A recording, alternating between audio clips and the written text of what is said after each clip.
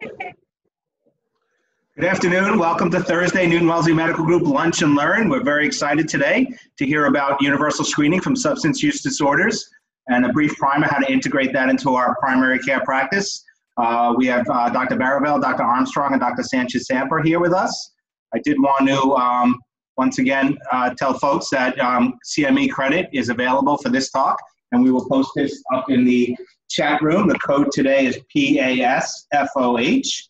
Um, and as you know, you're, um, you can text that to the daily CMS code. If you're having trouble with that, feel free to email us offline. Whoops. Skip through. And then uh, I also want to tease next week's and the following week so you guys can set your calendars. Um, next week, we'll be hearing about surgery for heartburn uh, from uh, Charu uh, Paranjape and uh, Lana Schumacher. And then the following week, we'll hear about regenerative medicine updates um, from our PMR department, Dr. Borgstein and Dr. Eng. We're very excited about that. Two other quick notes. As you know, our talks are all posted up on YouTube, usually by that afternoon. Um, if you can't remember the name of the talk, you can just search YouTube, Newton Wellesley Medical Group, Lunch and Learn, and all of our talks will come up. Um, and also, um, while we can still do it, you will receive 30 minutes of uh, Category 1 credits, um, as I mentioned previously. I'm going to turn it over now. Um, I don't know who's talking first, but to our substance use team. Thanks so much for being here, you guys. Welcome. I'm Anshi Baravel. John, if you can go to the next slide, please. Just want to let you know that we have no disclosures. Next slide. I'm here today to introduce you to the team. We've seen a huge increase in the amount of incredible people that have joined the team in the last last couple months and the last year. Many of these faces, some that you know, but many that you might not. So our goal today is really to introduce you to the substance use services team I founded the substance use services team with Katrina Armstrong a few years ago, and we are extremely proud to be able to present to you now that we have Dr. Sanchez Samper, who's our psychiatrist. Um, we have Angela Zadon, who's our LICSW counselor, Hallie DeLore, who's our recovery coach, and Donna Goulet, who's our medical assistant as part of the team. So we're very proud to be at Newton Wellesley Hospital and thankful to leadership for supporting us in these efforts. Next slide. when people hear the word substance use disorder or addiction, it's oftentimes a reaction of, oh, I, I don't know what to do. I don't know how to help my patients. I know this is a problem. This is a problem with my patients. This is a problem in our community, and this is a problem really worldwide. What we're hoping to do today is to give you a couple pieces of information and some tools so that you can feel like you can adequately counsel your patients as well as refer them to specialized treatment when it's appropriate. This is National Recovery Month. I hope that you've all had the opportunity to see the purple flags in front of Newton Wellesley Hospital. I think they're, they're hauntingly beautiful and extraordinarily powerful message to us to remember that addiction is everywhere and opioid use disorder continues to impact our communities. We have had over 2,000 deaths related to opioid overdoses in Massachusetts in 2019, and unfortunately that continues to rise we can go to the next slide. We also know that this is unfortunately increasing and in light of the social isolation now during COVID-19, we are seeing an increase in alcohol use, alcohol sales, and patients that really need our help. So although we're not asking you to be an expert, we're looking to be part of your team and know that we can help support you in making sure that we provide the best care for our patients with substance use disorder. Uh, the next slide. So with that, uh, we'll be talking about understanding the stigma and the impact that our language has on our patients' care. We'd like to familiarize your, you with some of the screening tools that are now part of inpatient admission. So these are required by our nursing colleagues to, um, to ask our patients, those that are admitted from the emergency department. And so we hope you will get gain an understanding of what these tools mean and i think that we will see them more around elective surgery as well as in the outpatient arena and some of these tools screening tools are available to you if you would like to use them in epic so what is your role in implementing these screening tools and how can we help you understand what the available resources are and we'd like to give you a little introduction into the role of medications uh, in team-based substance use care. So with that, I'm going to turn it over to Dr. Sanchez and Dr. Armstrong. So good afternoon and thank you all for, for joining us uh, during this lunch and learn. Um, 25 minutes is seems like a short period of time to tackle such a big and important topic as addiction or substance use disorders. Um, but as Dr. Baraveld shared with you guys, it's the perfect opportunity for you guys to, to leave having learned some key things and some key tools that will help you to identify, identify patients that are struggling with substance use disorders and refer them to the SUS service so that we can partner with you in caring for these patients. So before we start off with what is addiction or what addiction is, I would actually like to point out what addiction isn't. And what addiction isn't is it's not a character flaw or a character deficit, right? It's not something that, as they said in Minnesota, where I did my residency training at Mayo Clinic, that you have to pull yourself up by your bootstraps or just snap out of it, right? It's a condition that mimics a lot of the medical conditions that you guys are already treating in primary care that have biopsychosocial underpinnings and a lot of sometimes you know genetic underpinnings and that as such um, have biopsychosocial treatments so in many ways you guys are already more than 50% there by understanding um, that the way in which we approach the treatment for substance use disorders is the same way that we that we treat chronic relapsing and remitting conditions such as hypertension diabetes and others so addiction is defined as a primary chronic disease involving brain reward, motivation, memory, and related circuitry that, as I said, um, like other chronic uh, diseases, it often involves cycles of exacerbation and remission.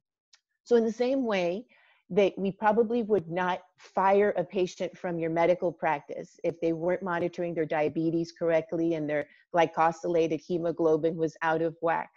Um, the same thing, the same approach pertains to caring for patients with substance use disorders. If and when they're having a slip, a lapse, or a relapse, it's actually an opportunity for us to reassess what's working and what's not working, to modify our approach to treatment, and to add additional uh, interventions or referrals if needed. So relapses, similarly, are not considered treatment failures. Um, we all we, we always see them as an opportunity to learn something and to do something differently. Because what we do know is that without treatment addiction can actually be progressive with increased morbidity and mortality and so the rationale for screening whether it's in an inpatient or an outpatient setting eh, is for us to identify patients early on so that we can empower ourselves with the right resources to help them to get help. And again in this kind of setting um, to partner with us at the at, at the sus service to help care for these patients. So early identification and intervention can reduce the physical and emotional consequences associated with substance use disorders again i don't want you to forget this is a very treatable illness illness um, in the over 20 years that i've been doing this kind of work i have yet to meet somebody that woke up one day and said you know what I think I want to develop an alcohol use disorder. And I want to not show up for work. I want to disappoint my spouse and my kids. Or somebody with an opiate use disorder that says, you know what, I'd like to have several overdoses, maybe develop hep C from needle sharing. Not once have I heard somebody uh, wake up and decide that that's what they want to do or to struggle with in their life. Um, and what we know from genetic studies that anywhere from 50 to 65% of the likelihood of somebody developing a substance use disorder, what's, what's considered a heritability coefficient, is, is present at the time in which sperm meets egg. So none of us can control what color eyes we're born with in the same way that we can't control or predict how our brains are going to react in uh, upon exposure to substances like alcohol, opiates, and others at later stages of it in life. Next slide, please. So let's spend a few minutes talking about what stigma is. So stigma is defined as the dehumanization of an, of an individual that through the process of labeling, stereotyping, and social rejection, discredits, devalues, and actually contributes to marginalization and exclusion. And this, unfortunately, is very common, both in the treatment of patients with mental health, substance use disorders or both. And the effects of stigma is that actually it uh, patients already when they struggle with mental health or substance use disorders carry a lot of guilt remorse and shame that may actually limit or paralyze them from actually seeking the help that they need uh, out of that guilt remorse and shame um, and unfortunately contrib- contribute to leaving treatment early or to having poorer outcomes. Next slide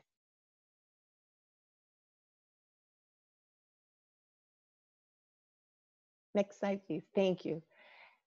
So it's important to know that uh, we do have the power and capacity to reduce the stigma of addiction.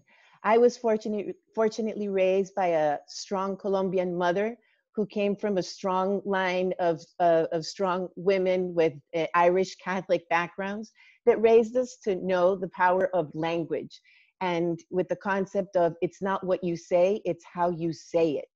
Um, so I'd like to invite all of you, if you take nothing else from this lunch and learn, to be aware of how your actions can reduce stigma and to use person first, medically accurate language, to use humility and compassion, and to be conscious of, of, of existing dynamics. So, in many ways, in the same way that we wouldn't say to residents or fellows that, uh, or to our colleagues, or to medical students that we're mentoring and training, let's go see that cirrhosis in bed 102 right? But patient that's struggling with or that has been diagnosed with cirrhosis.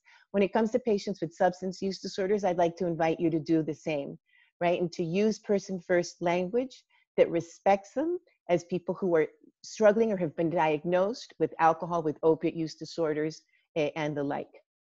Certainly be mindful of your own biases and leave them at, and leave them at the door or in the parking lot at Newton Wellesley. That's entirely up to you and certainly um, be an agent of change. Call out stigma when you when you see it and educate others. So back to the power of words. Some of the stigmatizing language that culturally we have fallen in, in, into using are using terminology such as substance abuser or using words that end in ick which for me again the mnemonic is that it sounds icky so um, I don't refer to my patients as alcoholics or addicts, but again, as a person with a substance use disorder or person requiring opioids for chronic pain. Now, I, I, would like to ask a show of hands. How many of you have ever, ever heard of a dirty diabetic or a clean hypertensive? Again, since medical school, residency, fellowship, and in the work that I've been doing, I have never heard that terminology being used to describe our patients struggling with medical conditions. Yet the stigma of substance use disorders is such that we use words like clean or dirty to refer to our patients in recovery or when they've relapsed, or uh, to refer to the, the, pos- the presence of positive uh, uh, or negative substances in their urine as a positive or a negative urine and, and, and use words like clean or dirty. So again, I'd like to invite you guys to avoid some of the words that are in the in the left uh, left side of the of the screen, and to use much more empowering words um, that can decrease stigma and empower our patients. Uh, next slide, and I'll introduce you to Dr. Armstrong, who will talk to you about SBIRT. Hello, everybody, and welcome. Thank you so much, all of you, for being here today we are really so excited to be able to have the opportunity to talk to you about this important topic and to introduce uh, screening, universal screening, and, and our service. Many of you um, have uh, been introduced to our service, um, are aware of us, and, and may also be aware of universal screening. But what I'd like to do next is to just go over some of the, the basics and some of the changes that now are taking place within, um, within our, our partners hospitals. So I thought I would start with this slide um, of a pyramid, which basically um, puts together the idea of SBIRT and screening, uh, both on the general screening and more specific. It also goes through how we can use this screening to help support our patients. So SBIRT, which is screening, brief intervention, referral to treatment, is, is really the entire process of, of what we are doing to help identify and support our patients that are struggling with substance use disorders. You'll see on the left hand side is the arrow that goes up from the foundation of the pyramid to the top, which intensifies and makes uh, allows more specificity of intervention. On the right hand side are the actual um, individual types of screening, which I'll review, and then eh, specific in interventions um, for the medical provider to help support the patient. Within the pyramid, you'll see that we're moving from a lower risk patient up to a high risk, uh, a higher risk patient that may have more dependent use. So starting with the single universal screen question now, in which we will review it, every patient will come in and have an individual screening question, which I'll go over in the next slide. But after that patient, if they do screen positive, the, the next step of this process is to identify what the substance is that maybe the person may be struggling with and use two specific individual simple screens that we'll review to further identify and support the patient. If you look to the right of the, the pyramid at low to medium in the red, we are identifying audit C, which um, specifically looks at alcohol use disorder, or DAST-10, which looks at opioid use disorder. A low to medium screen on that on the audit C would be less than eight, and on the DAST-10 would be greater than six uh, would be less than six, sorry, for, for low to medium. If a patient screens low to medium, we may be prompted as the responding clinician or primary care physician to have a discussion, a further discussion with our patient as we go through these individual audit C or DAST-10 screens. If the screen uh, is uh, is a higher level of screen or the conversation indicates that the patient is is having a significant struggle struggle that indicates a hazardous or harmful, medium to um, higher risk, this may prompt the primary care physician or the responding clinician to possibly uh, put in an EPIC consult for substance use services or could to consider medical management therapy for this patient. Moving to the top of the pyramid, with higher level of screening or an indication um, from a conversation and intervention with the primary provider that this patient is high risk or dependent use on uh, within a substance may indicate that the patient may need transfer after the hospitalization or even um, uh, during part of the hospitalization to a higher level of care, indicating inpatient residential or detoxification uh, from uh, the substance in question. So that's just a, a, brief overview of the, the, the screening process in the individual. And now if you could go to the next slide, we'll go to the uh, individual screening. So um, as of now, all patients admitted through the ED will be screened for a, with a single question. So this is the substance single question screener upon admission. This is all seen in EPIC and this will be administered by the, the RN that is admitting the patient. The question that the patient will be asked is one simple question How many times in the past year have you used an illegal drug or prescription medication for non medical reasons? And for example, um, used for reasons such as the experience um, or feeling that it may have caused. You'll see right below that is um, the option for if a patient cannot, um, is unable to assess um, substance use screening. If the patient answers one or greater, a best practice action will inform the responding clinician of the physician's positive response. Uh, at this point, the responding clinician will move to those two screens that I just mentioned on the side of the pyramid. A DAST-10, a screening tool for opioid use disorder, or an audit C, and we'll, we'll move forward, but we're focusing on the DAST-10 at this point. If the patient's response is zero, it will um, no further action. So next slide, please. So I'd like to just go over the DAST-10, which is um, also called the drug use screen. And I'd like to review it just briefly as it, it um, I think it is a scary thing to think about a big screen and that it's very complicated and needs an enormous amount of intervention. And, and I bring it up here just because it's actually a quite a simple screen. It has um, an ability to screen um, in two different categories. A DAST-10 of one to six um, is a, a, lower level screen um, it would indicate um, either uh, little to no issues regarding drug use screening, and this is what we're talking about here is opioid use disorder, or greater than six is a moderate to substantial level, um, possibly needing further intensive uh, uh, assessment. As you'll see, the DAST-10 reviews over the past 12 months. In the past 12 months, um, have you used drugs other than required? Um, this is uh, is similar to the first the first question that we have in the universal screening. So most often people will move to the second question. Um, do you use more than one drug at a time? How often have there been blackouts? Um, do you feel guilty? Has their loved ones? Has this affected your job or your ability to function? Has have medical uh, problems been a result of this particular substance. So each of this, uh, these questions are indicated by a simple um, yes or no, which indicates the overall score. So I just wanted to de demystify the DAST-10 um, for opioid use disorder uh, screening. Please go to the next slide. So opioids, um, we, I'd, I'd, like to just take a moment to focus on opioids and, and monitoring for withdrawal when a patient comes, uh, um, comes into the office or the hospital. So in general, what we're talking about here and what the DAST-10 is referring to are opioids, including heroin and analgesic medications such as oxycodone, hydrocodone, hydromorphone, morphone, morphine, fentanyl, and tramadol. And also um, being aware of that um, patients that are uh, eliciting a history of heroin use and heroin use disorder, most often in, in, uh, in the current state, we are having an indication that patients are also using um, fentanyl, knowingly or unknowingly. Most of the heroin um, that is being used nowadays is uh, tainted in some form with fentanyl. So just to, to be aware of that.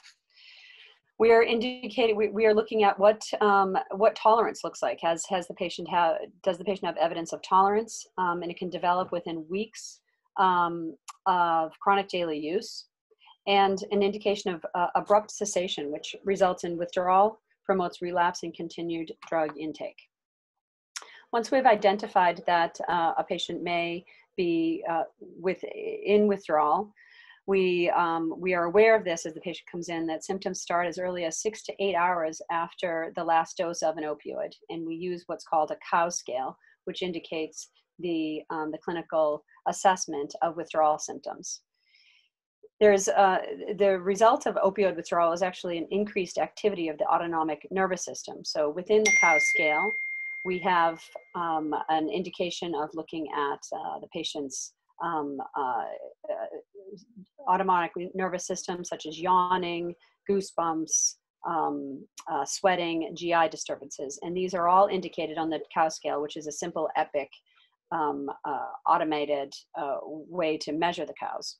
The acute phase may last up to seven to 10 days. And at this point, there's uh, automated EPIC um, protocols for both methadone or buprenorphine um, withdrawal protocols, which um, are easily found in EPIC. Please go to the next slide.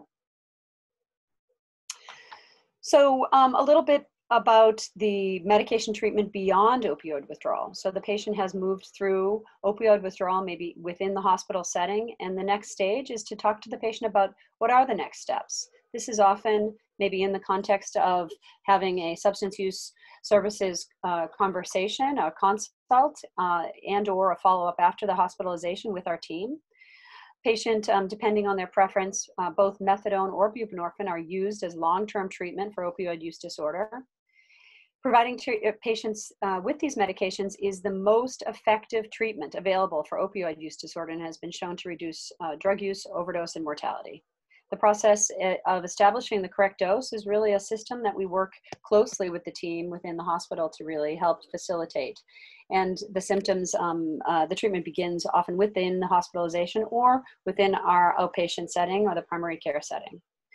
Induction plans are, are individualized to treat patient uh, treatment needs, and the management of induction again use, um, uses the scale that I mentioned earlier, the COW scale, to help best um, help the, ensure the patient gets onto the appropriate dose and type of medication.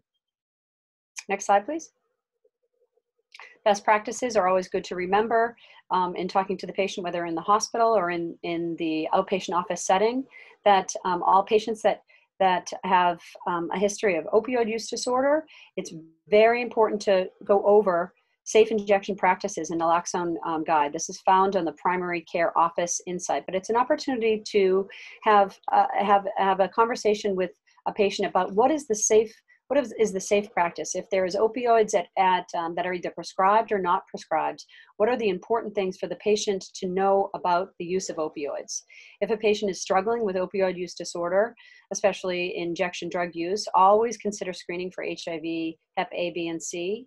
And um, uh, in accordance, always considering post and pre exposure prophylaxis for HIV and again, naloxone at discharge is always an important intervention, whether a patient is prescribed or is uh, not prescribed and struggling with opioid use disorder. Next slide, please.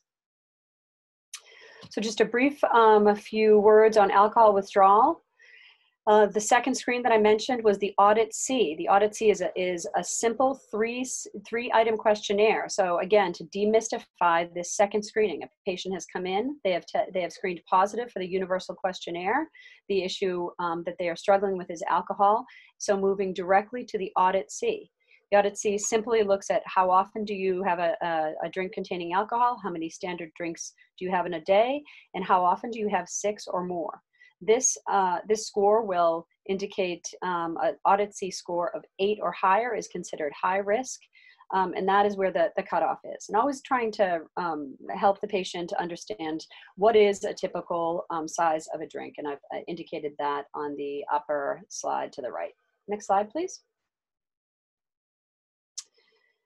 Treatment beyond alcohol use, use uh, acute withdrawal. Um, I think uh, many people are uh, familiar with the withdrawal protocol of alcohol use disorder within the hospital, but what do we do after? Well, you know, what are, are some of the, the things that we can talk to our patients about when they are getting ready to leave the hospital and really would like to um, address the alcohol use disorder. We have three FDA approved medications um, that we have at our disposal.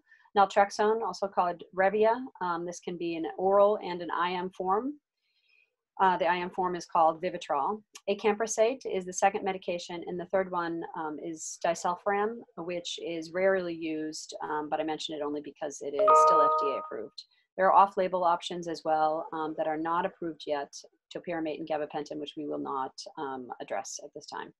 Patients should be offered this treatment, all of these treatment options and medications, as well as the importance of psychosocial treatment, addressing mental health needs, uh, offering community support, offering support within our services at Substance Use Services, identifying that within our team we have a recovery coach, an LICSW therapist, social worker, an addiction psychiatrist, and we are so happy to meet with uh, patients at all levels of their care and help them negotiate uh, the substance use disorder that they may be struggling with.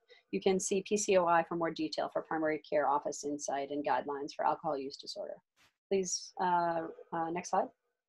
So finally, we, we just wanted to let you know that our patients need all of our help and we are here as substance use services to help support our patients to support you as as inpatient practitioners outpatient practitioners whether it's a phone call to let us um, uh, to or to have a patient referred to our our services both on the inpatient and outpatient setting.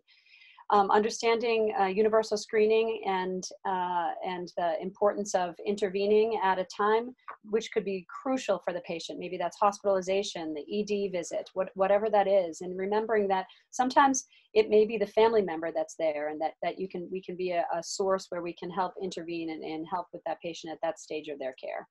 The sus team is here. We're in the blue building in 401 we are there and available Monday through Friday for inpatient and outpatient consults. And we have the phone number um, right there for you to identify.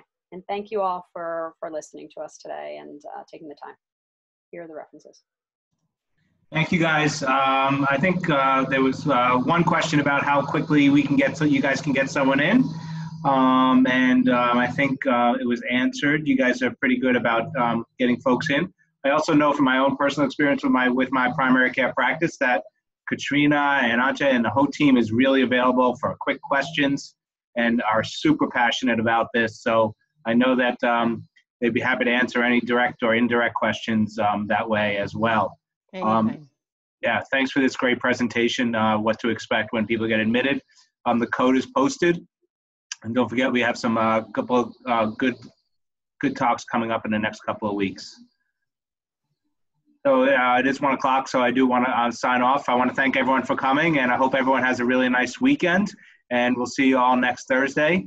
Um, and we'll get this up on YouTube um, so you can pass it on. Thanks. Thank Bye. you. Thank you. Bye.